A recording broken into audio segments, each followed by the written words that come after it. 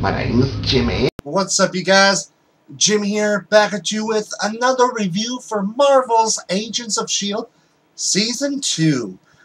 And uh, this is episode 16, titled Afterlife. Now, before I get to the review, I want to let you know I will be talking about the episode to kind of express some of my thoughts and shocks and ahs and whatnot about the episode. So if you haven't watched it, just be warned, spoiler alert. Now, in this episode, um, we actually uh, get to see this place that these um, Inhumans are taken to, which, um, you know, one of the people tells Scott that it's Chinese, but they call it Afterlife, which, you know, kind of explained that she is so special because other people they're like chosen once every few years, whereas she was transformed by the mist in a Kree temple. Know, uh, but this guy kind of shows her how a little bit about the place, kind of shows her that she could eventually learn to control her powers in a way so that they're not seem like all about destruction. Uh, but eventually, um, she kind of uh, figures out that Raina and her father are there. So she goes into Raina. They confront, and boom! We see a familiar face. Skye's mother. The woman that's supposed that Whitehall supposedly cut up into pieces. Yeah. So that was a little bit of a shocker. You know, uh, which for that, it kind of, I'm like, what? What? I mean, you could tell she has scars, so maybe she has some regenerative type of abilities. I mean, that would explain why she has scars, but it's like, you know, all the stuff that her father did, um, that Skye's father did, uh, it's like everything he did, because when, you know, uh, both her mother and father of talk to each other, it's like, it is Daisy. You know, uh, but uh, he acted like she was never dead. Unless he's seen her, had seen her while they were there once before. But still, that is a total shock. I mean, I thought she was dead. So, it's kind of going to be interesting because I'm pretty sure Skye's going, uh, her, she's going to keep the information to herself about her being Skye's mother. Yeah, but that's not the only little bit of a return. You see, uh, Coulson and Hunter, um, they decide to take one of the, I think it was uh, the, uh, the Quinjets that um, was owned by the real S.H.I.E.L.D. Yeah, but uh, their plans uh, didn't work out so well, but they got in some backup.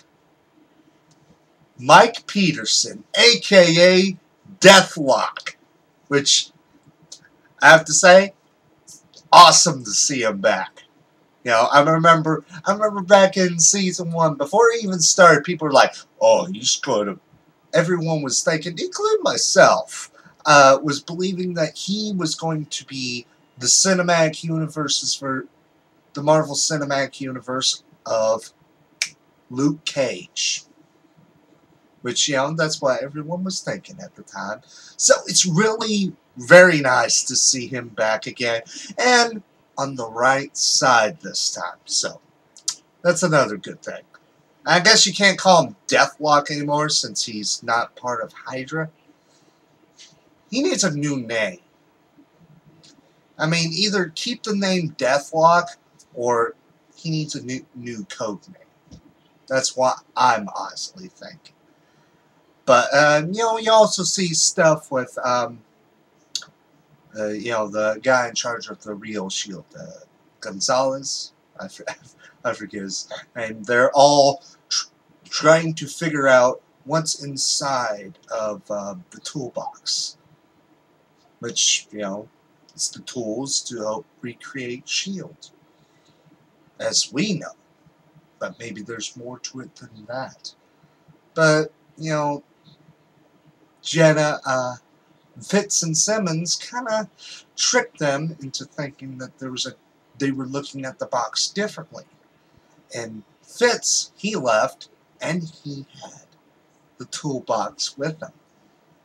So, yeah. But, uh, and for uh, Hunter and um, Coulson, uh, they're going to, uh, this person that I guess uh, worked for Hydra that uh, kind of experimented on gifted people that uh, could uh, help them be able to find find out who this man is and where Skye could be. Which that brings us to the preview for next week's episode, which it looks like we're going to find out exactly why May is called the Calvary. Which, um, you know, that's uh, that's pretty much of a gist of the episode. I have to say, I thought this episode was very, very cool. You know, got a little bit of a episode going on just about afterlife. But, you know, I'm kind of wondering where the rest of the season's going to go because we're almost we're only like six episodes away. So, yeah. So, hopefully, hopefully with the way better improvement that the show's gotten for this season compared to last season, hopefully it gets renewed and maybe aware awareness can finally be put out, you know, on how much better the show got in between the seasons. Hopefully. Just gotta pray to the Marvel gods.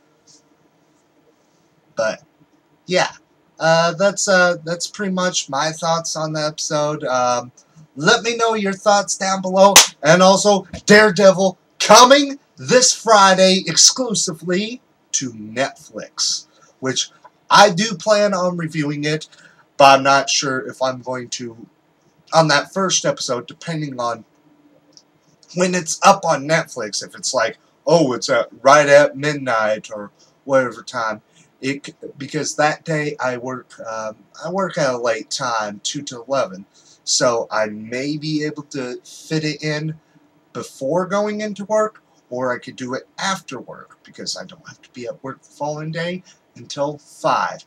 And I promise you, that first episode, spoiler free. It's going to be spoiler free, so you will freely be able to express your opinions and watch it without having to get spoiled on the episode. And also, you know, maybe if I could, you know, this is always a maybe for me, you know, if other people want to kind of do a little bit of a discussion with me. You know, I'm, I'm always free to do that. You know, I could do a review and then, you know, do a discussion with other people. You know, just need to find a way for us all to, like, be able to record a video together and, um, you know, be able to talk amongst ourselves. Which I say the easiest way is through Google Hangout which you know you need Google Plus. But yeah, that's that's just if it's not a, it's not like a set in stone type of thing. So it doesn't matter to me. So uh, that's my thoughts on the episode. Let me know yours down below. And also, how excited are you for Daredevil?